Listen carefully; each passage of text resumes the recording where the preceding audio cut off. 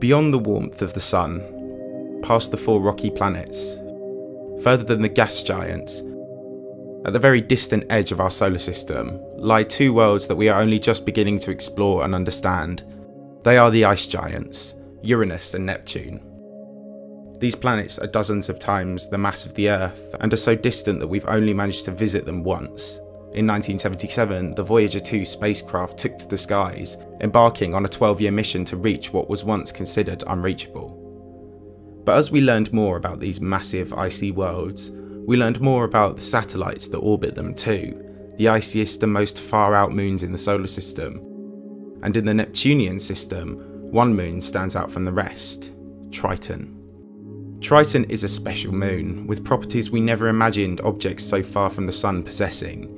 But it wasn't until we reached the moon in 1989 that we finally began to understand its true origins.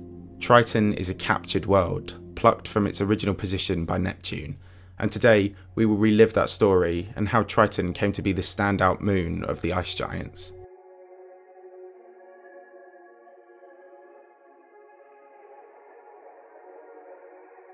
Triton was discovered just 17 days after the discovery of Neptune itself, on the 10th of October 1846, by astronomer William Lassell on his own self constructed telescope.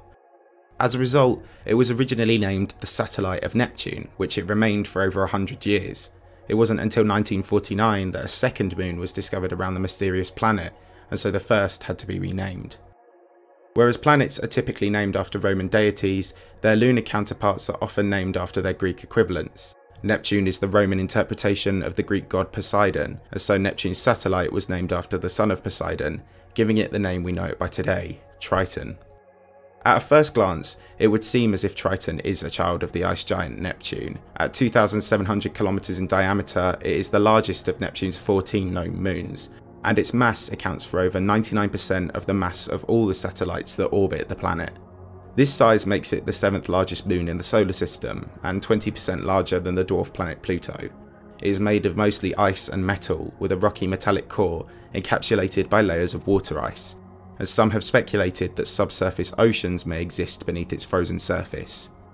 The moon is estimated to be composed of between one sixth and one third water ice, but on the surface, another frozen material exists nitrogen. This far away from the warmth and light of the sun, even nitrogen gas turns into a solid. As such, Triton is covered in a sheet of frosty frozen nitrogen, with cracks and icy lava flows ingrained on its surface. This nitrogen layer reflects over 70% of the precious little light that reaches the moon, but even so, the faint light of the sun still makes its mark on the surface. The nitrogen covering exists in a very fragile equilibrium, frozen by Triton's average surface temperature of minus 235 degrees Celsius. However, only a difference of a few degrees, and this equilibrium is broken, and it gives the planet a feature we never thought we would find on the surface of a body this far from the Sun. Triton is covered in geysers, erupting material over 8 kilometers into the air which is carried and deposited hundreds of kilometers away by light winds. This process is driven by the faint sunlight. When it reaches the surface of the thin sheets of nitrogen ice, it heats the top layer. An increase in temperature of less than 5 degrees Celsius is enough to stir the material below, turning the frozen nitrogen back into gas, which bursts up through the frozen surface with water ice and dark material. These deposits mean that Triton's surface is constantly changing and being reshaped, but it also gives the moon an atmosphere. Triton's atmosphere consists of mostly nitrogen from the geysers and the geological activity, with traces of methane also. It is a very thin atmosphere, but it is still enough for clouds to exist within, and wind currents to transport these dark materials downwind from the geysers.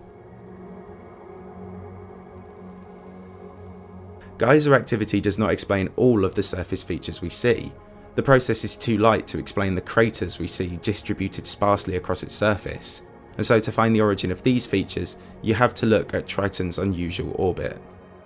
Like most moons, Triton is locked into a synchronous rotation with Neptune. It orbits as fast as it rotates, meaning one side permanently faces the planet while the other side faces out into space. However, unlike most moons, it is the only large moon in the solar system which orbits in the opposite direction to its parent planet, in what is known as a retrograde orbit. This unusual direction and the inclination of it provides insight into Triton's origins. If Triton was truly a moon of Neptune and formed at the same time and from the same collapsing cloud of gas, then you would expect to see the planet and its moons orbiting in the same direction. We see this among all other large moons, and we also see seven so-called normal moons of Neptune, orbiting in the same direction of the planet, along its orbital disk. Triton, on the other hand, orbits much further away than these inner satellites, and does so at an unusual angle, and not along the orbital disk, and what this indicates is that Triton is not truly a moon of Neptune. Scientists now believe that Triton may actually be an object which formed beyond the orbit of Neptune, in the Kuiper Belt, a massive orbital ring of icy material on the very edge of our solar system, left over from its formation. It extends from Neptune's orbit to over 50 astronomical units away from the Sun, so that's 50 times the distance Earth orbits the star. And there's more evidence for this theory, as further out from Neptune, across the boundary of the Kuiper Belt, the Moon has an estranged twin, Pluto. Pluto is the most famous Kuiper Belt object due to its famous reclassification to the status of dwarf planet, but Pluto is not alone. The Kuiper Belt contains trillions of lumps of ice, ammonia and rock, which are forming and destroying tiny dwarf planets and minor planets all the time. We now believe that this is how Triton formed too, as mentioned, it is only a fifth larger than Pluto, and their compositions are extremely similar. So you would assume that if anything is made of the same stuff as Pluto, it may have formed under the same conditions. But then, if Triton was born in the Kuiper Belt, how did it come to be a moon of Neptune? The theory now states that Triton formed on the inner edge of the Kuiper Belt, but would have come to within touching distance of Neptune's orbit as it travelled through the outer reaches of the solar system, Usually when this happens, these minor planets are moving too fast to be captured by a larger planet's gravity, so when the fledgling planet approached the orbit of the ice giant, something must have slowed it down. We don't know for sure what might have caused Triton to lose its momentum, but scientists believe the most likely cause would have been that Triton collided with a moon or proto-moon of Neptune, or with another dwarf planet. On top of this, Triton may have formed as a dwarf planet with its own small satellite moon, which would have been displaced by Neptune's gravity, further reducing its speed as it crossed paths with the giant planet. Regardless of how, the impact would have halted Triton in its tracks, rendering it powerless as it was sucked into Neptune's orbit, but it wouldn't have entered orbit around Neptune in the circular fashion the Voyager spacecraft observed. Instead, it would have been flung into the Neptunian system in a chaotic, highly eccentric and elliptical orbit, which had a profound effect on the displaced dwarf planet. When a moon orbits a larger planet in an elliptical fashion, the gravitational influence from the parent planet is constantly changing as the distance between the planet and the satellite varies, and this creates friction on the interior. The gravity of the planet squashes and bends the moon, heating the interior through the appropriately named process of tidal heating. This process of friction, heat and convection appears to have given Triton a very unique characteristic for a moon, geological activity. It is one of only three geologically active moons in the solar system, another being Io of Jupiter, which is active through the same tidal processes. The gravitational forces of the parent planets can wreak havoc within a planet's interior, and it is a rare sight for a rocky satellite orbiting a planet. While Io is considerably more active than Triton, the tidal heating effect would have warmed the inner materials in the new surrogate moon of Neptune, causing them to burst through faults in the moon's surface, giving it the rocky terrain we see today, which is tended to and reshaped constantly by the active geysers. While this tidal heating effect is no longer a consistent force on the moon, Triton can be considered a hive of geological activity despite being billions of kilometres from the sun, which disproved our once held belief that only silent, icy worlds could exist this far away from the sun. If Triton was captured by Neptune, it would also explain the lack of the expected number of other moons, and might explain why Neptune's second moon, Nereid, has such a disturbed orbit around its parent planet. Computer simulations have suggested that Triton's initial collision with whatever pulled it from the Kuiper Belt caused follow-on collisions between other moons, and so while those moons lost, Triton won. It had begun life as an orphan, destined to aimlessly wander the vast outer edge of the solar system before being plucked from the darkness by Neptune, where it now orbits as an adopted child of the massive planet. So today, we see Triton as a child of Neptune, albeit a standout one, but had its fortunes been different, it would have remained a dwarf planet, orbiting within the Kuiper Belt like Pluto, Sedna, Eris, and many other small suspended objects in this massive icy wall which separates our region of space from the rest of the galaxy.